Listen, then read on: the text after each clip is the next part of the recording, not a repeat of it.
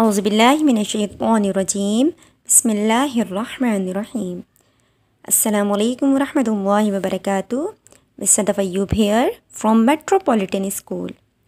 It's math time for class 8.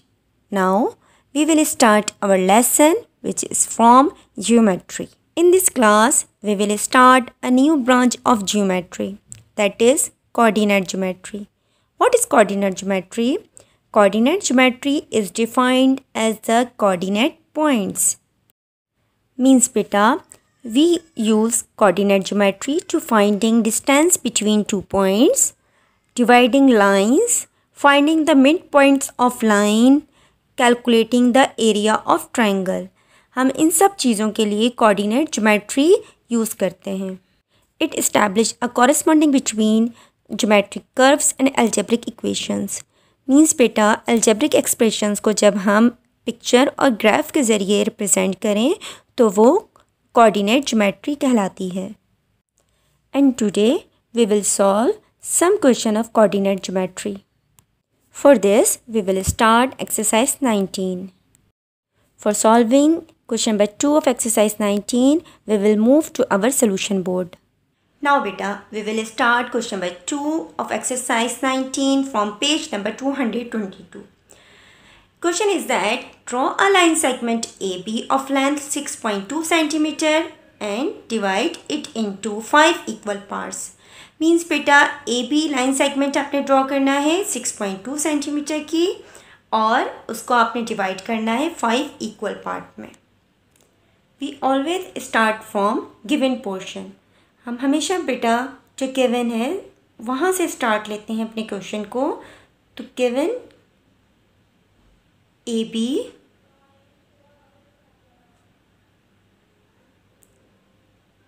Length क्या है इसकी? सिक्स पॉइंट टू सेंटीमीटर और रिक्वायर्ड क्या है?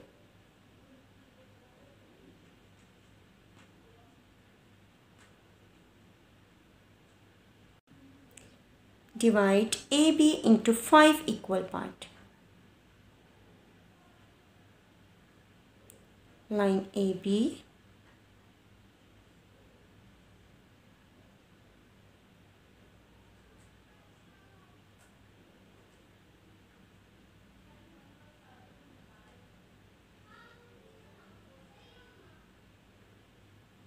five equal parts में हम इसको डिवाइड करेंगे we will write step of construction one by one.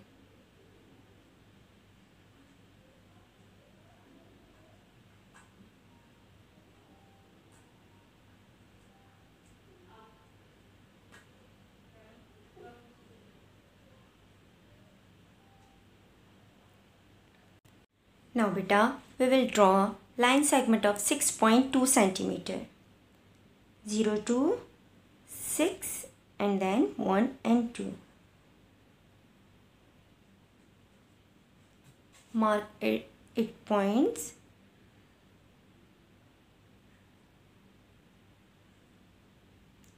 A, B. Now first step of construction is draw line segment AB is equal to 6.2 centimetre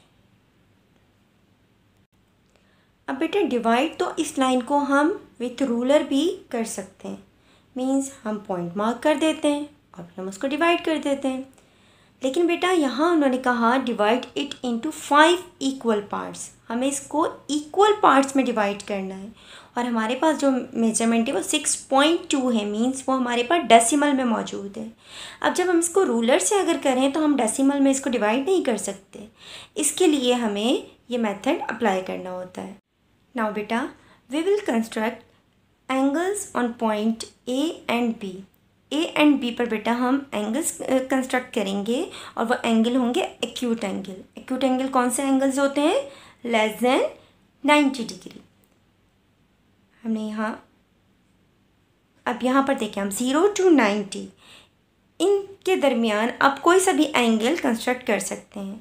मैं यहाँ पर सिक्सटी डिग्री कंस्ट्रक्ट कर रही हूँ, ठीक है?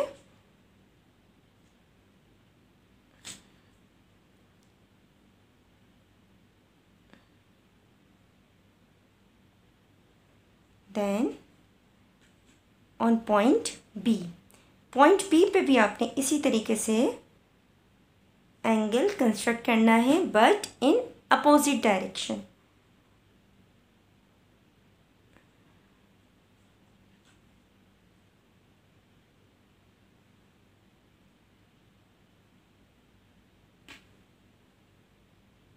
now we will write second step of construction which was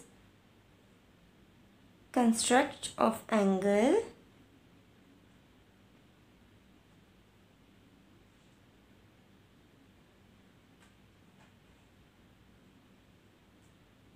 On. Point A.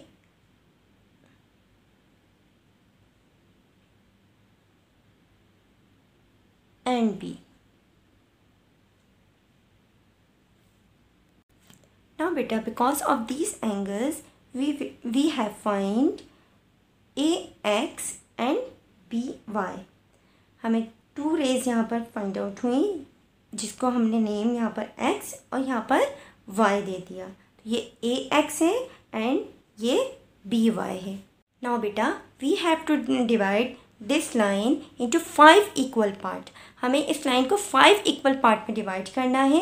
उसके लिए हम यहाँ पर अब आर्क मार्क करेंगे और वो फाइव होंगी, क्योंकि जितने पार्ट्स में आपने डिवाइड करना हो, उतनी आपने आर्क मार्क करनी होगी on A X and B Y पर। You can open your compass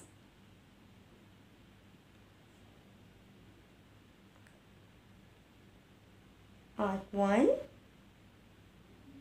R2, R3, now 4 and then arc number 5 और बिल्कुल सेम कंस्ट्रक्शन आप यहाँ पर भी करेंगे. One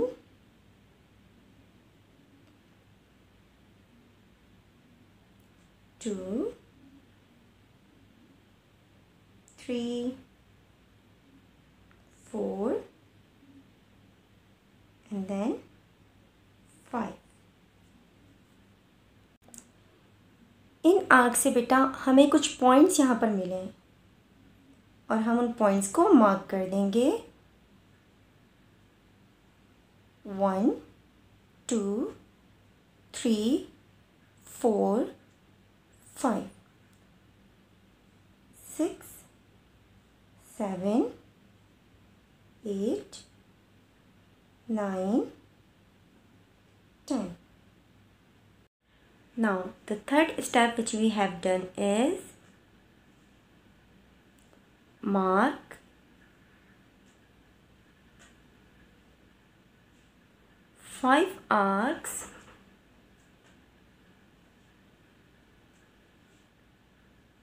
on AX and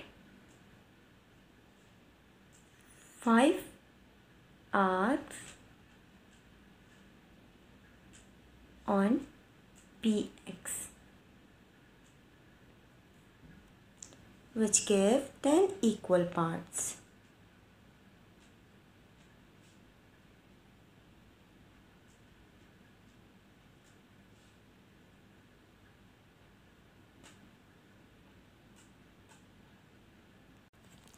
Now beta, we will join A with 10, 1 with 9, 2 with 8 and then so on. 1 with A with 10, 1 with 9, 2 with 8, 3 with 7, 4 with 6, and 5 with B.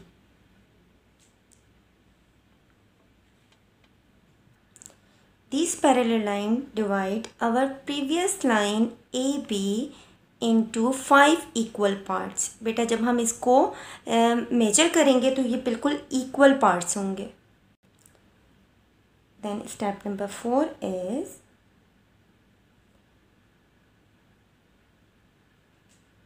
join. A with ten हमने ten के साथ इसको join किया था। One with nine two with eight then three with seven four with six and last one five with B. Result is AB has divided into 5 equal parts.